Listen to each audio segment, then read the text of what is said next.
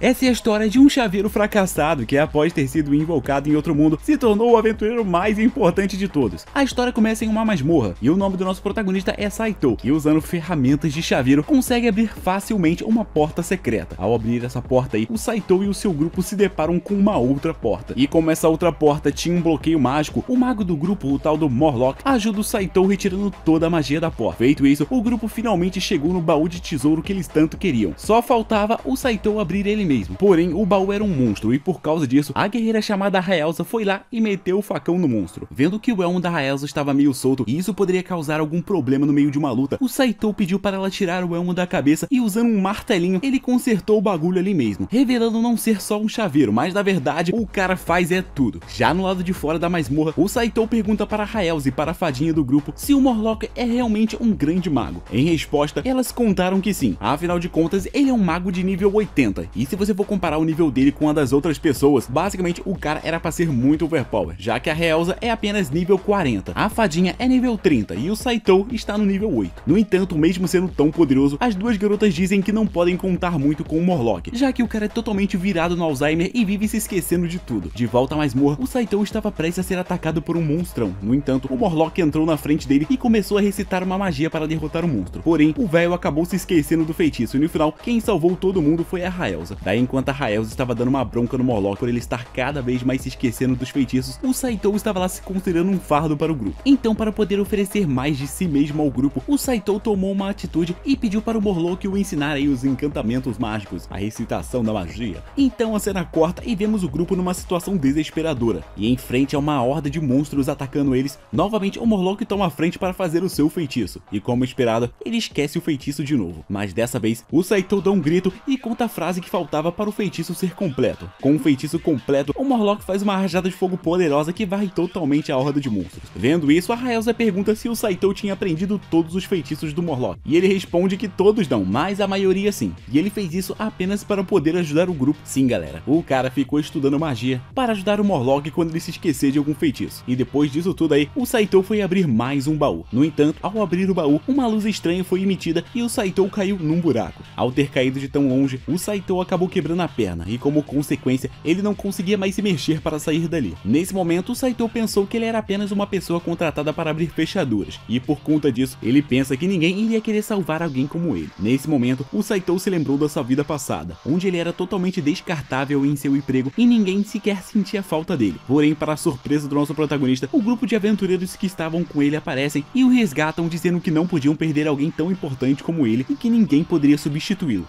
Já no início do episódio seguinte, o grupo do Saito estava enfrentando um monstrão cobra. Daí como a Raelza tinha medo de cobra, sobrou pro próprio Saito enfrentar o bichão. E graças a uma magia que o Morlock estava lançando, o Saito consegue derrotar a cobra tranquilamente. Daí com a carne desse monstro aí, o Saito tem uma ideia de preparar uns espetinhos de cobra e mesmo relutante, a Raelza acaba comendo e amando. E aí eu vou te falar que eu tava até com vontade de comer de tão bonitinho que o espeto tava. Mentira, mentira, eu comia não. Bagulho de cobra, comida japonesa não gosto. E dentro de uma masmorra é mostrado que existem diversos tipos de armadilhas nos baús. E entendendo sobre essas armadilhas, o Saito sabia exatamente quais baús ele não deveria abrir. E no meio desses baús todos, o Saito encontra um baú com uma armadilha que parecia ser muito simples. Então ele pegou seu alicate e cortou alguns cabos de aço dessa armadilha doida aí. O fato do cara fazer isso acaba impressionando todos do grupo, pois segundo eles, esses cabos eram forjados por anões cabulosos, e cortar esses cabos aí é um feito lendário. E enquanto nosso protagonista trabalhava, o Morlock estava todo empolgadão chamando o nome dele. Obviamente, nesse momento, o Saito pede por silêncio, para ele conseguir ficar concentrado e não fazer nenhuma merda. No entanto, esse discurso não valeu de nada, pois logo em seguida ele fez merda e ativou uma armadilha. Como consequência, um bagulho viscoso cai na Raelza e derrete toda a armadura dela. E bom, foi armadilha para ela e bênção para o nosso protagonista, amém. E em seguida o Saito tenta abrir um outro baú novamente e ele ativa mais uma armadilha. E sinceramente até agora eu não vi eles achar uma moeda de ouro sequer. E bom, essa armadilha acabou levando o Saito e a Raelza para um outro lugar da masmorra. Nesse momento, um Megazord aparece e a Raelza é obrigada a enfrentar ele sozinha. Vendo que não tinha como vencer, a Raelza pede pro Saito fugir e deixar ela lá para morrer. No entanto, o Saito faz o contrário, escalando o monstro pelas costas e usando aquele bagulho viscoso lá para derreter uma parte do monstro. E no fim, a Raelza conseguiu cortar aí o golem de ferro ao meio. E esse líquido viscoso, que no caso é um slime, só foi útil porque ele tem um grande poder de derreter ferro. Porém, antes de ser finalizado, o monstro pegou o Saito com a mão e esmagou o cara sem dó nem piedade. Acabou o anime. Mentira, quando o Saito estava quase morrendo, a Raelza bebeu uma poção estranha que ela tinha guardado e com um beijão, ela conseguiu basicamente reviver o cara, porque já tava quase morto. Olha os ossinhos dele aí, ó, que lindo. E já no início do episódio seguinte, aí vemos o Saito usando o seu alicate novamente para cortar um cabo, mas dessa vez o alicate acabou quebrando. E isso faz o Saito ficar todo para baixo, pois nesse mundo não existem muitas pessoas que conseguem consertar um alicate. No entanto, o Morlock acaba com a tristeza do nosso protagonista, revelando que existe um certo anão que poderia consertar facilmente esse alicate. Porém, esse anão vivia preso dentro de uma masmorra, exatamente atrás de uma porta com mais de 100 fechaduras. E por conta dessas fechaduras, é basicamente impossível entrar na sala dele. Bom, pode ser impossível para todos, mas não para o nosso protagonista, porque o cara é um chaveiro. E um tempo depois, vemos que o Saito realmente conseguiu abrir todas as fechaduras. Feito isso, o anão conserta o alicate dele e ainda oferece um jantar para todos. E enquanto o geral estava felizão, enchendo a barriga e bebendo, o Saito estava lá pensando se o anão não poderia fazer uma arma de fogo para ele, já que assim ele seria bastante útil nas batalhas. Mas como Saito não queria trazer esse tipo de coisa para esse mundo, ele acabou desistindo. Burrão, se fosse eu pedia logo um oitão, um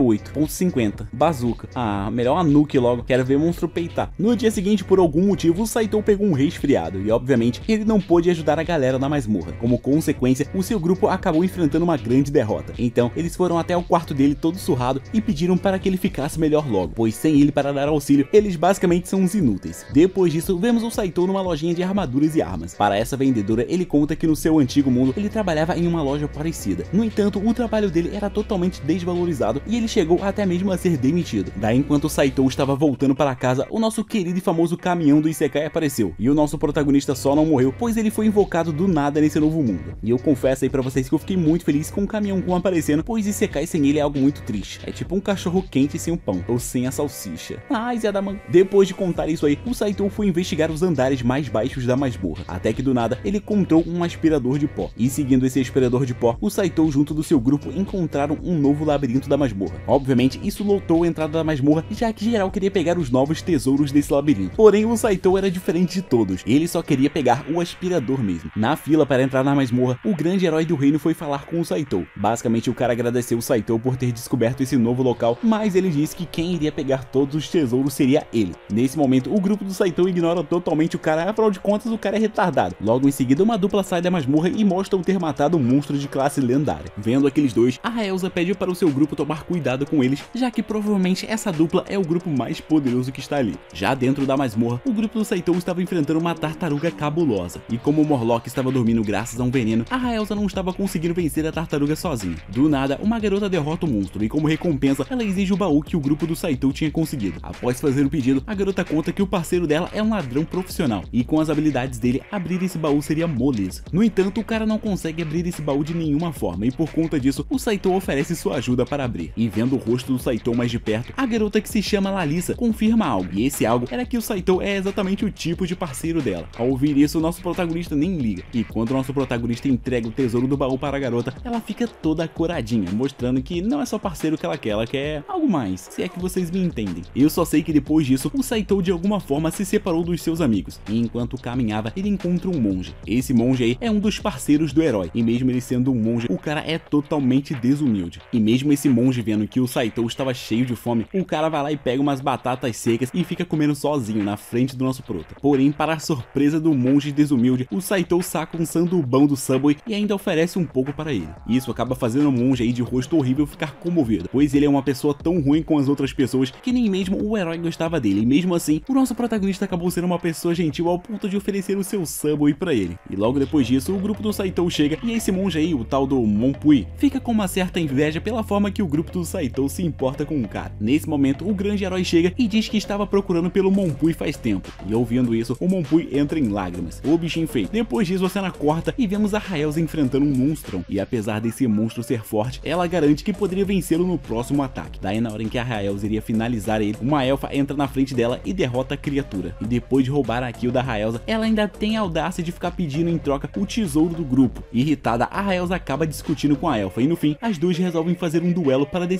quem iria ficar com o tesouro. Na disputa, a elfa acaba tendo vantagem por ela ser muito mais rápida. Dessa maneira, ela aplica vários ataques na Raelza. Para vencer a elfa, a Raelza retira algumas partes da sua armadura, já que assim ela ficaria um pouco mais rápida. Porém, por algum motivo, a roupa dela acabou se desfazendo. No fim, a briga foi cancelada e o grupinho da elfa acabou desistindo do tesouro. Continuando a sua jornada na masmorra, o Saito encontra novamente o aspirador de pó. E seguindo o aspirador de pó, o Saito acaba encontrando uma sala secreta cheia de itens do mundo moderno. Logo ao entrar entrar dentro dessa sala, uma fadinha lança uma magia de luz e do nada, um ninja aparece atrás do Saito para matá-lo. Nesse momento, a Raelza consegue impedir o ninja de matar o nosso protagonista. Em resposta, o ninja utilizou uma magia que paralisa as pessoas pela sombra, e depois de fazer isso, o ninja já partiu para matar a Raelza. Do nada, uma flecha acerta o ninja, e essa flecha foi lançada por um anão, e depois de tomar um rajadão mágico do anão, o ninja resolve recuar junto da fadinha. Logo em seguida, o anão de nome impronunciável olha o Morlock e revela ser um ex-aprendiz do velho. Porém, como esse velho é ligado no Alzheimer, ele nem mesmo se lembra do anão. Então, o anão revela que o Morlock era um mago super conhecido há 20 anos atrás, mas que durante uma viagem em busca de uma magia proibida, o Morlock acabou sumindo e deixando o mundo inteiro sem notícias sobre ele. Do nada, uma kunai acerta o anão e o ninja aparece novamente, dessa vez com uma dupla de demônios. E vendo um pouco do passado desse ninja, é mostrado que ele queria salvar uma bruxa que tinha envelhecido após ele ter beijado ela. E a única forma de salvar essa bruxa aí é pegando umas escrituras lendárias da masmorra que foram escritas pelo mago supremo que controla o tempo. Voltando para a luta, o grupo do ninja tá lá atacando uma pressão imensa no grupo do Saito. E mesmo com o Morlock usando uma magia de alto nível dos demônios, eles não levam dano nenhum. De repente, um demônio pega o Saito e esmaga ele.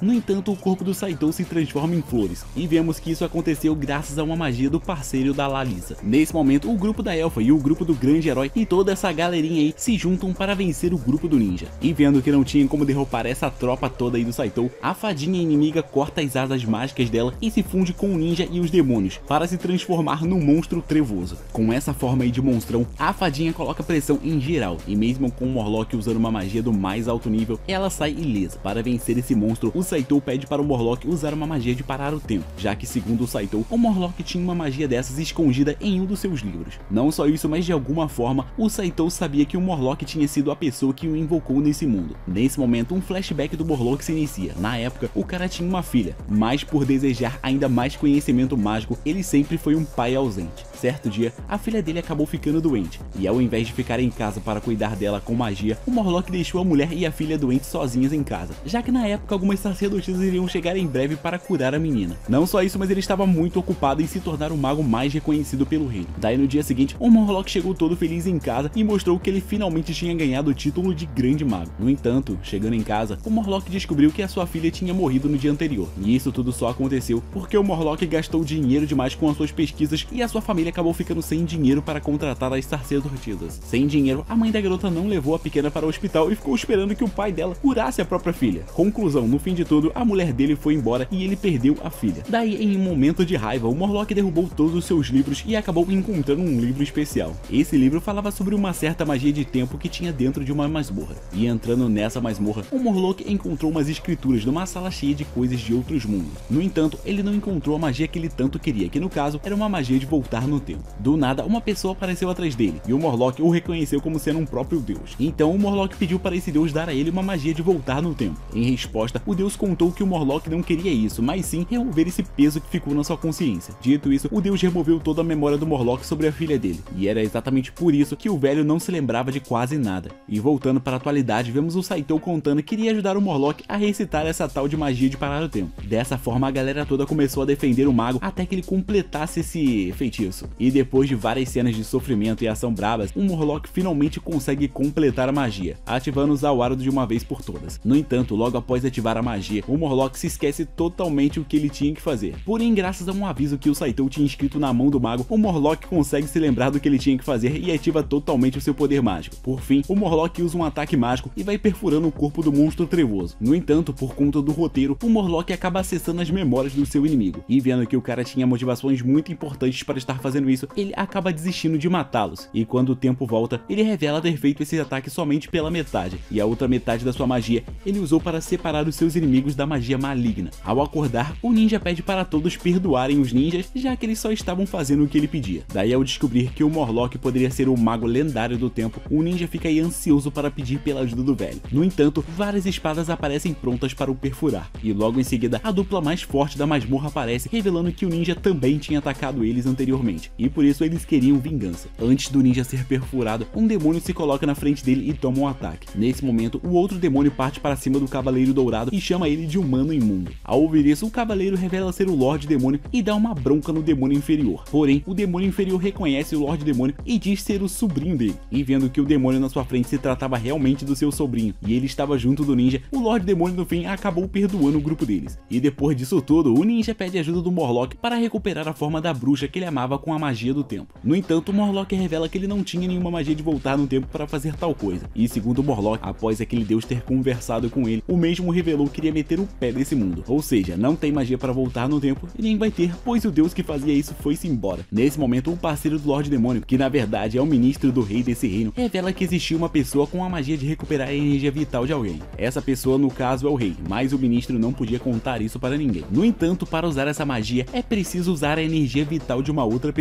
E bom, como o ninja já estava achando que iria ser enforcado por ter atacado as pessoas da masmorra mesmo, ele resolve usar a vida dele para salvar a bruxa. Porém, ele queria a permissão de toda essa galera que ele fez mal. E mesmo que ele tenha ferrado aí um pouco cada uma dessas pessoas, a galera resolve permitir que ele fizesse isso, já que se sacrificar por amor seria algo muito bonito, muito belo. No fim, antes de ir embora, um ninja conta que dava para perceber que o Saito era o mais fraco de todos ali só de olhar. No entanto, segundo o ninja, todos só conseguiram derrotá-lo graças ao auxílio bolado que o Saito deu a todos. Ele então pergunta se o Saito era um ninja de alguma região ou algo do tipo, e o Saito responde dizendo que ele é apenas um simples faz tudo. Ao ouvir isso, o ninja fica impressionado e se despede de todos. No início do episódio seguinte é mostrado que o rei ajudou o ninja e que ele não morreu, só perdeu um braço e uma perna. Porém, a bruxa não se lembra mais dele e por causa disso, ele vai ter que conquistar ela novamente. Após isso, vemos que no final, o Saito não achou o aspirador de pó que ele tanto queria, e deixando isso de lado, ele agradece a todos pela ajuda. Já num barzinho, o Morlock revela que ele tinha invocado o Saito desse mundo. Isso tudo porque ele tentou usar uma magia proibida e por engano, ele sem querer spawnou o Saito. Sabendo disso, a fadinha do grupo pergunta se não teria como ele levar o Saito de volta para o mundo dele. Mas ao ouvir isso, a Raelza fica irritada e fala que esse grupo só criou reputação após o Saito ter se juntado a eles. Resumindo, eles são um lixo sem o Saito. Após falar isso, a Raelza começa a chorar e sai correndo. Mas como nosso protagonista é brabo, ele encontra ela e logo em seguida ele diz que não pretendia voltar para o seu mundo, já que lá ele era um completo inútil. E depois de derrotar um monstrão que tinha atacado eles, o Saito e a Raelza ficam lá conversando. Logo em seguida, o Morlock aparece e revela que mesmo se ele pudesse levar o Saito de volta para o mundo dele, o Saito iria acabar morrendo para o caminhão Kun de qualquer jeito. Ou seja, o cara iria ir para um Isekai de qualquer forma, seja por bem ou seja por mal. No fim, o nosso protagonista diz que eles não precisam se preocupar com isso, pois ele já está super feliz nesse mundo. E ao final desse episódio, um outro monstro ataca o Morlock e envenena o cara. Por causa desse veneno, o velho acaba indo de Vasco e perguntando para o homem encarregado de cuidar do corpo dele, a Elsa descobre que um cão selvagem tinha comido uma parte do corpo dele. Daí, por estar faltando uma parte do corpo dele, não tinha como eles lançarem uma magia de ressurreição no velho. No túmulo do Morlock, o Saito diz que não iria desistir e queria tentar usar uma magia de ressurreição assim mesmo. No entanto, logo em seguida, o Morlock em forma de morto-vivo aparece e revela que ele tinha criado uma magia de ressurreição para caso ele morresse. Porém, como ele estava sem uma parte do corpo, ele estava com uma falha de regeneração e por causa disso, eles teriam que recuperar essa parte do corpo o quanto antes. Parte no corpo essa que no caso era a espada debaixo do cara. Nesse momento, um anão de nome impronunciável apareceu do nada e revelou que como Morlock tinha muito poder mágico, mesmo que o mastro tivesse sido comido, daria para ele recuperar-se se eles encontrassem a criatura que comeu o bagulho. Dito isso, geral partiu para procurar o cão e numa conversa a sós com o Saito, o Morlock perguntou se o Saito não queria se casar com a Raelza. Isso tudo porque o Morlock era basicamente o pai adotivo da Raelza. Sim, o cara cuidou dela desde que ela era uma criancinha órfã. Dito isso, o Morlock revela saber que ele sabe que a Raelza tem sentimentos aí pelo Saito. E agora que ele não sabe mais se vai conseguir recuperar o seu corpo, ele queria que o Saito cuidasse da Raelza por ele. Ao ouvir isso, o Saito aceita ficar com a Raelza e pede a mão dela para o Morlock. Mesmo assim, o Saito conta que antes dele se declarar para Raelza, eles teriam que encontrar o corpo do Morlock e que o sogro dele ainda tinha muito a ser vivido. Do nada, um cachorro louco ataca o Morlock e o Saito em seguida. Chegando no local, a Raelza e a fadinha encontram os dois todos ferrados. E tomada de raiva, a Raelza parte para cima do cachorro. Nesse momento, ela toma uma rajada de fogo e fica com o braço em carne viva. No entanto, a força do ódio dela era tão grande que nem mesmo a dor a impediu. E por conta disso, ela meteu a facada no cão demoníaco. Daí, quando ele pretendia dar o último ataque, um lobo filhote apareceu e ela parou o ataque. Nesse momento, o cão demoníaco recuperou consciência de alguma maneira e de alguma forma ele pediu para a Raelza acabar com ele. No entanto, ele queria que a Raelza poupasse o seu filhote. Bom, a Raelza acaba aceitando e quando ela estava prestes a atacar o cão, um demônio cabuloso captura ele e tenta puxá-lo de volta para o inferno. No entanto, o Saito segura o cachorro com uma corda e com um ataque certeiro, a Raelza mata o demônio. Nesse momento, um outro demônio sai do corpo do do demônio que a Raelza matou e revela ser um demônio da classe de Rei Demônio. A Raelza então fica para enfrentar o Rei Demônio sozinho, mas não se passam 10 segundos e ela acaba sendo capturada por um dos fios mágicos do demônio. Vendo tudo isso, o Saito se cansa de ser um estorvo e usa o seu alicate para cortar os fios do demônio. E com seu protagonismo sendo usado no talo, o Saito consegue cortar os fios. Feito isso, a Raelza acerta um golpe perfeito no demônio. Porém, antes que o demônio pudesse ser morto, ele usa uma magia de gelo e tenta congelar a Raelza. No entanto, o Saito interfere novamente e é congelado no lugar dela. Nesse momento é mostrado que antes dele ter ajudado a Raelza, o Saito tinha levado o corpo do Morlock até o corpo do cão demoníaco. Graças a isso, o Morlock fez um contrato com o cão que em troca de recuperar a sua energia mágica, o Morlock teria que cuidar do filhote do cão. Feito isso, antes mesmo que a Raelza fosse finalizada, o Morlock salva ela. E com algumas magias brabas de fogo, ele derrota o Rei Demônio. Assim, ao conversar com o Saito e com a Raelza, o Morlock revela que agora ele tinha orelha e rabo de lobo. Isso tudo graças ao cão que além de ter devolvido o poder do filhote, deu a própria energia a ele. E agora, o Morlock revela que ele pretende reviver esse cão, já que o filhotinho precisava muito do verdadeiro pai. Porém, do nada, o Morlock toma uma rajada de gelo, e o Rei Demônio mostra ainda estar vivo. No entanto, com o poder do cão demoníaco, o Morlock estava muito mais forte do que nunca. Não só isso, mas o cara ficou até mesmo em uma forma mais nova. Para vencer esse inimigo, o Morlock prende o demônio com umas pedras mágicas e usa sua magia mais poderosa que consistia na invocação de um meteoro mágico. Porém, mesmo ativando esse Shinra Tensei, o Morlock não consegue derrotar o demônio. E no fim, quem mata o demônio é o Saito e o filhote de cão lá. Depois disso, o Morlock consegue reviver o cão demoníaco usando toda sua energia mágica e vital. E isso meio que deu a entender que o velhão iria se sacrificar para salvar o cão. No entanto, no início do episódio seguinte, que no caso é o último episódio desse anime, é mostrado que o Morlock estava completamente vivo. Morreu, mas passa bem. Depois disso, o Saito resolve conversar com a Raelza. E a sós com ela, o Saito conta que ele se importava muito com ela e que nesse momento ele era a pessoa que queria estar mais próximo a ela, já lançando a chavecada no talo. Logo em seguida, vemos o Morlock sozinho em seu quarto, pensando em um segredo que ele não pretendia contar para ninguém. Esse segredo é que no momento em que ele ficou na nova forma lá contra o demônio, ele de alguma forma virou uma mulher. E naquele momento, observando o rosto do Saito, a forma feminina do Morlock quase se apaixonou pelo nosso prota.